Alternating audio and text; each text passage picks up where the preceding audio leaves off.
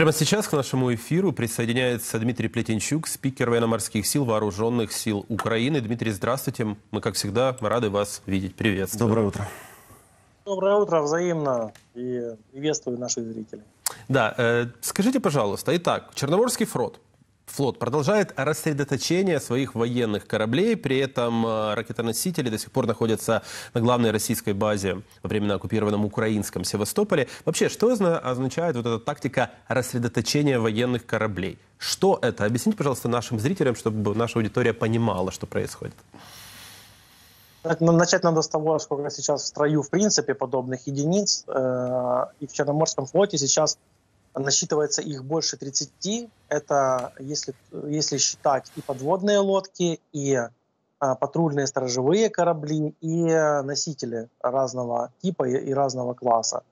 А, но а, боевые действия показывают, практика показывает, что в принципе непосредственное участие в боевых действиях задействованы сейчас фактически только носители крылатых ракет.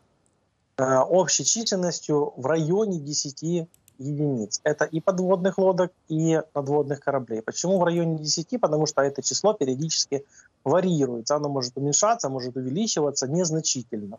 То есть кто-то может зайти на обслуживание, кто-то может пройти, наконец, испытания, как циклон, который уже э, фактически в строю полгода, э, калибры уже на него загрузили, но он как не стрелял, так и не стреляет.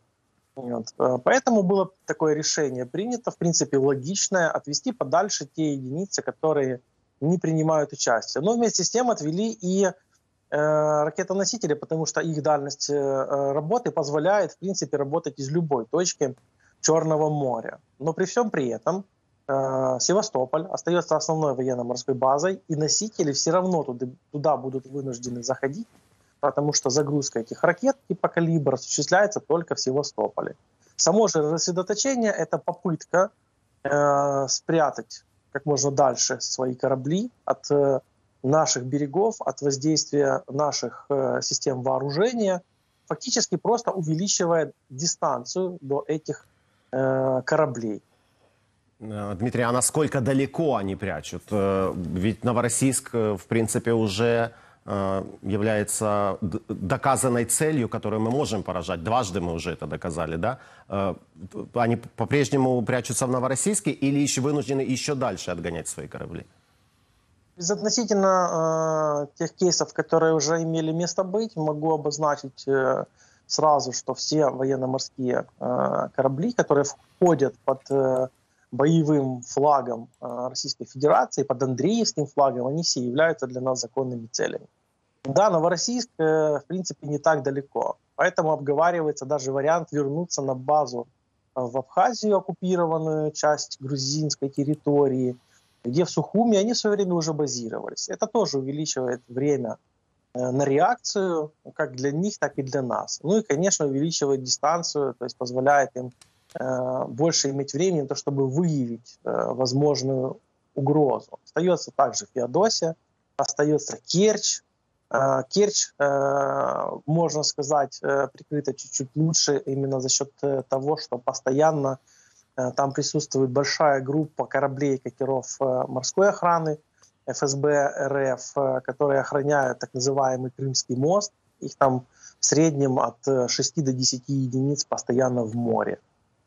Ну, увеличивает не только время, увеличивает ведь и износ, да, и это же тоже важно, этой техники. А как у них обстоят дела с возможностью восстановления, ремонта. Мы видим, как отразились санкции на авиаотрасли Российской Федерации. Да, там просто разбирают оставшиеся самолеты, чтобы хоть как-то подлатать э, еще летающие. А что с, с флотом?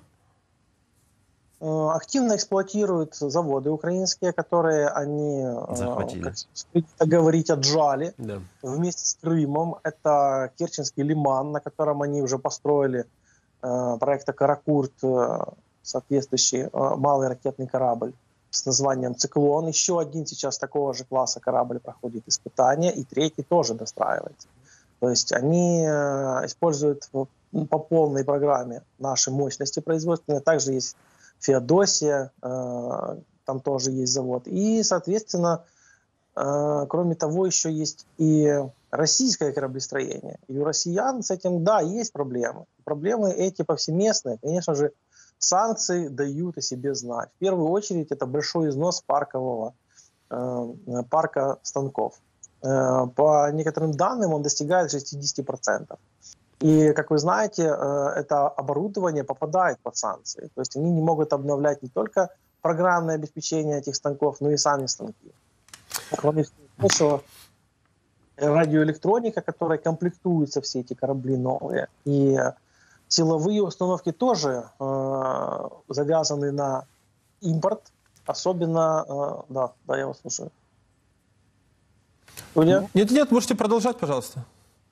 Да, то есть э, радиолокационное оборудование, навигационное оборудование, все эти вещи, они э, в микроэлектронику Россия как не умела, так и не умеет. Они, соответственно, это все закупали и, конечно же, будут продолжать закупать, но только дистанция будет больше, то есть путь будет покупки длиннее намного.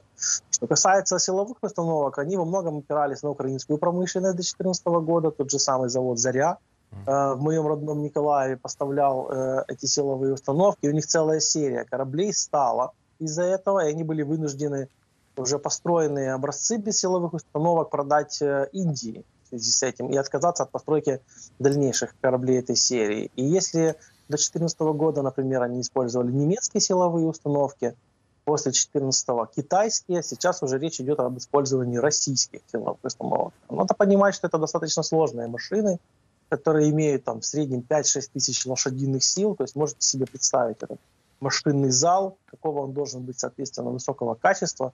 И в этом плане, конечно, они тоже будут страдать. Дмитрий, а теперь хотелось бы обговорить ситуацию во временно оккупированном украинском Севастополе. Мы знаем, что там вражеские корабли также поражаются, но оккупанты сейчас перекрыли Севастополь зубами дракона. Это спутниковые снимки показывают. Прокомментируйте, пожалуйста, насколько эффективна данная тактика.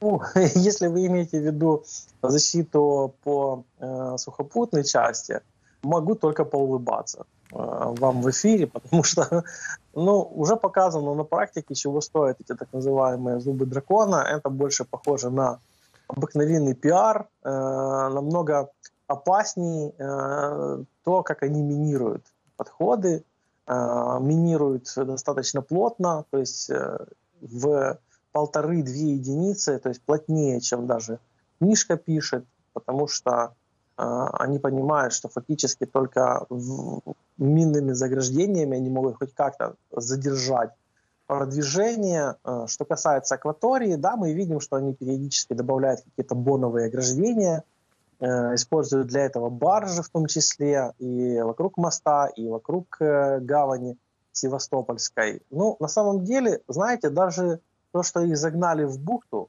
уже говорит о многом. То есть функционал ограничен. И прекрасно иметь большой флот, который не может выйти из гавани. Остается только, согласно традиции э, Российской империи, этот флот утопить, как они это делали во время Крымской войны э, в этой же акватории. Не будем им мешать, они хотя бы сохранят жизнь личного состава. Ну, так ли все плохо у российского флота? Вот британская разведка, например, отмечает, что большая часть возможностей Черноморского флота Российской Федерации остается неповрежденной, и он может попытаться, благодаря своему конвенционному преимуществу в огневых возможностях, вновь перехватить инициативу в западной части Черного моря. Какие проблемы нам это доставит в плане гуманитарного коридора, который, в общем-то, сейчас возобновил худо-бедно свою работу? Абсолютно согласен. Нельзя списывать со счетов это, эту группировку. Она достаточно большая, она достаточно мощная. 30 э, с лишним кораблей – это все-таки не шутки. Хотя на самом деле 8 из них, например, это э, большие десантные корабли, которые в качестве паромов сейчас только используются. Э, но не стоит забывать, что на 100 морских миль от нашего побережья мы контролируем акваторию нашими ракетными войсками, которые входят в состав военно-морских сил. Это отдельный род войск, который Э, был восстановлен в нашем составе. На вооружении он имеет из известных э, образцов. Это Нептун, э, славнозвестный, и э, Гарпун, например. И они это прекрасно знают, поэтому в нашу акваторию они не заходят. Что касается коридора, ну, учитывая то, как он сейчас работает, а пролегает он через территориальные воды в западной части краин, стран НАТО, это 12-мильная морская зона, э, можно сказать, что в принципе эти кораб... Э, судна находятся в безопасности.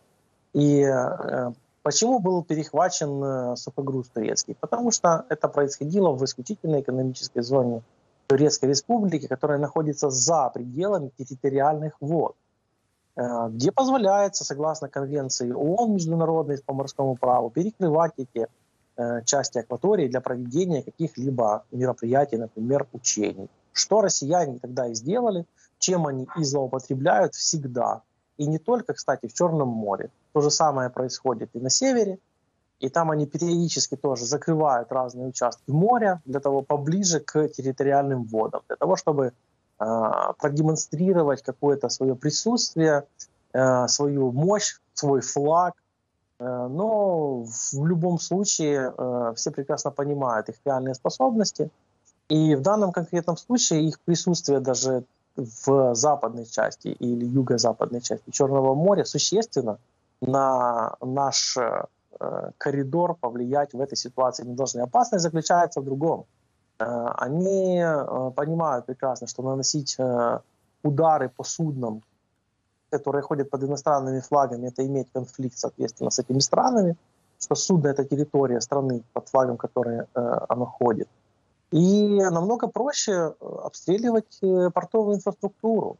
И при всем при этом, опять же, из состава военно-морского флота, Черноморского флота, РФ э, авиация продолжает работать над этой акваторией, которую мы защитили от присутствия непосредственно российских кораблей, а самолеты там работают.